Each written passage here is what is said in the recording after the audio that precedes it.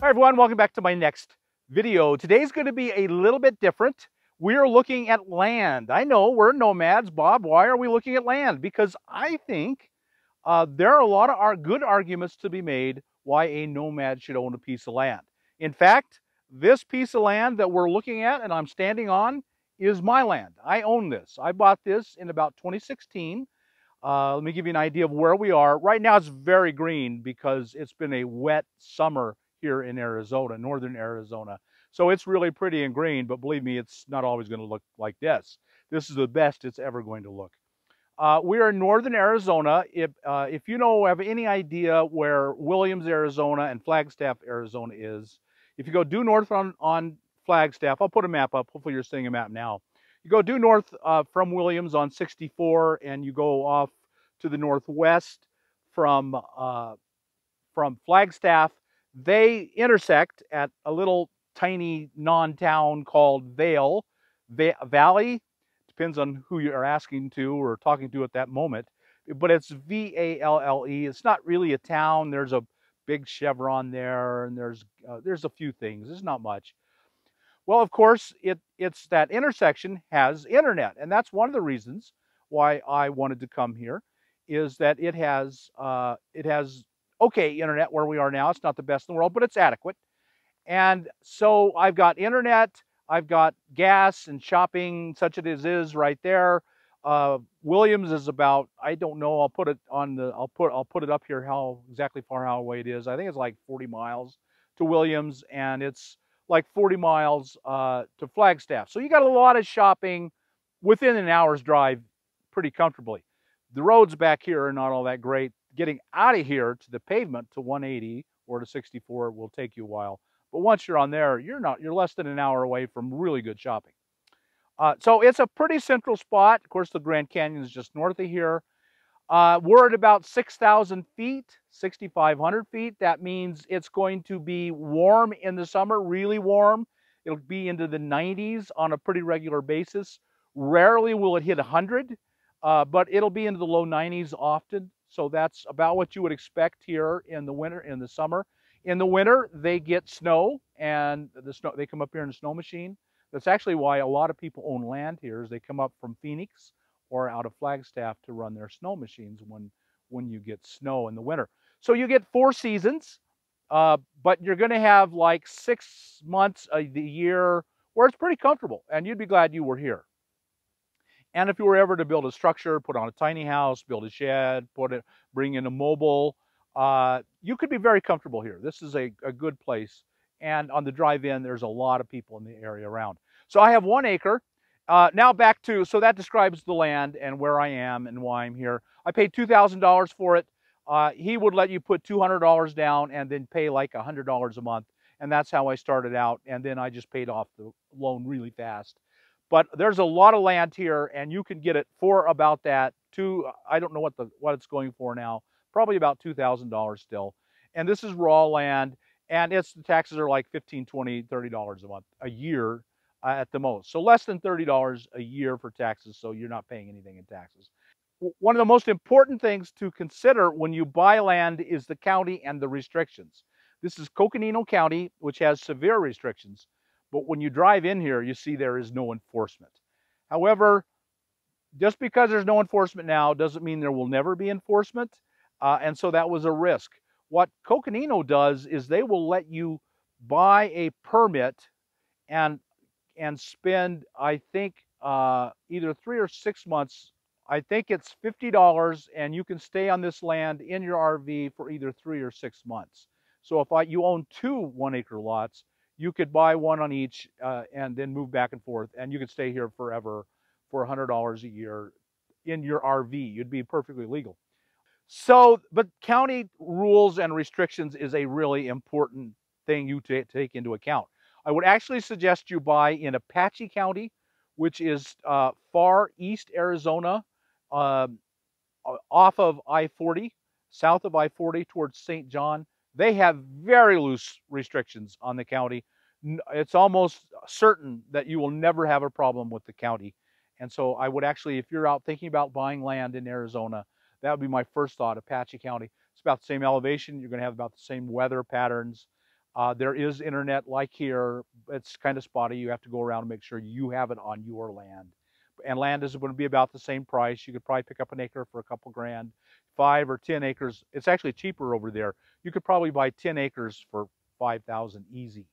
Uh, if you're buying larger acreages, you're looking at a thousand an acre or less in Apache County. So, and there's a lot of it. There's no limit on the amount of land. Okay, all that, that's all good. Uh, that's great. Bob, why would I buy a piece of land? Why do you buy a piece of land? Why should I think about buying a piece of land? Let's consider that. So why did I buy land and why do I think it's generally a good idea for a nomad to buy land? Not, the reason number one is you're now a legal resident of that state. You have a legal address. Someone ever asks you, uh, where do you live in that state? You, I have an actual address. I'm not going to give it to you, but it's like 1234 Main Street, Williams, Arizona. Uh, in fact, you can just punch that uh, address in and it'll Google will send you right here. It's not the best road in the world. You're going to have some fun getting to it, uh, but you're going to get to it. And and so you have now have a legal address. And if a, a, a, a ranger ever says to you, "Do you have a home somewhere?" Your answer is yes. That solves all the problems with "Do you own a home?" When you go to uh, to title your vehicle and, and get insurance on your vehicle, they will ask you where is the vehicle going to be garaged? That's a very specific question. They want to know the piece of land it will be on. I now have an answer. It's 1234 Main Street, Williams, Arizona, and then whatever the zip code is, I don't know. Uh, now I've, I've solved that problem. I am in every way, I don't have to lie. I don't have to kind of fake it or fudge it. I own land here. I am a legal resident. I am that entitles me to use uh, everything, including camping on public land, uh, National Forest and BLM. There is an issue about that. I'm not going to discuss it, but this solves that whole problem. Uh, so that's your number one reason.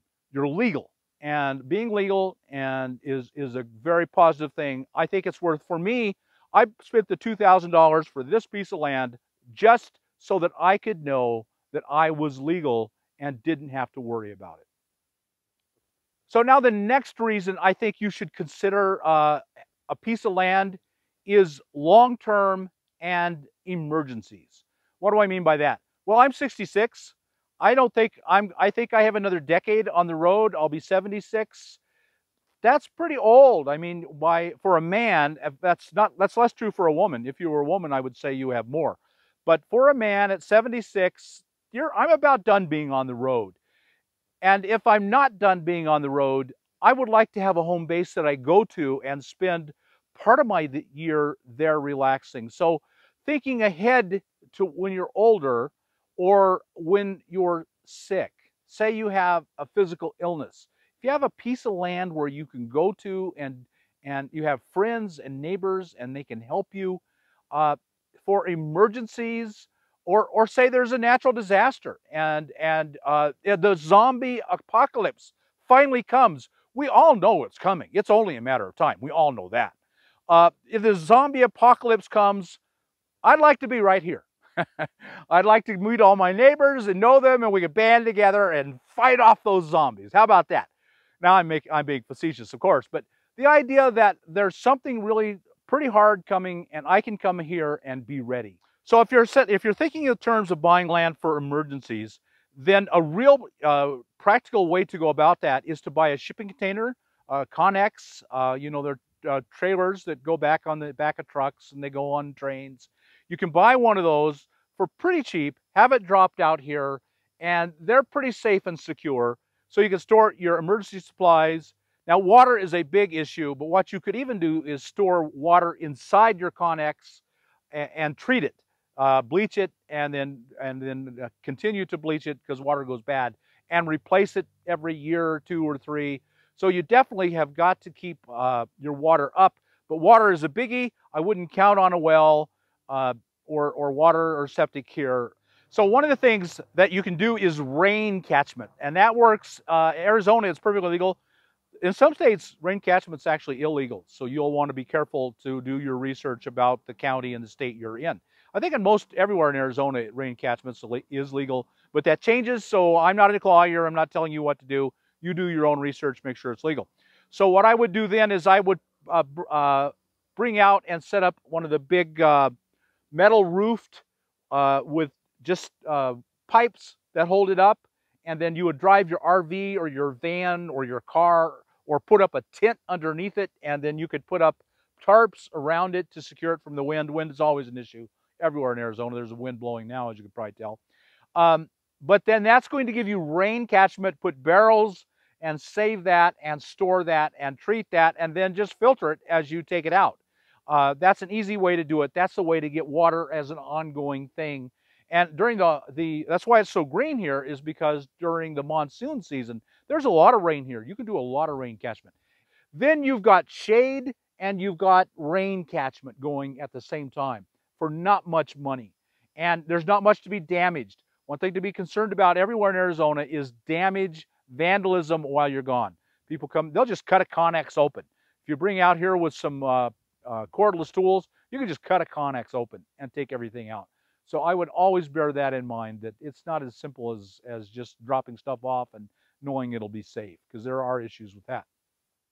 So that's for that's a good reason to have it is for emergencies. Some kind of emergency in the country or in the state or or uh, or personal emergency, you need to go you need to go to ground. You have ground.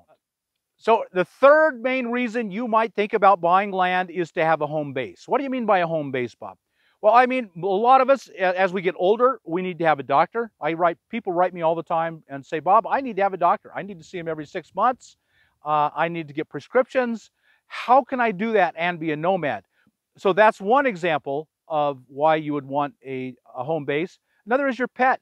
So uh, my last dog, uh, Homer, uh, as he got older, when he was 10, he had all kinds of health issues. And my vet is in Williams. So a good reason to have a home base is for your pet. You have a vet that knows you and knows your dog.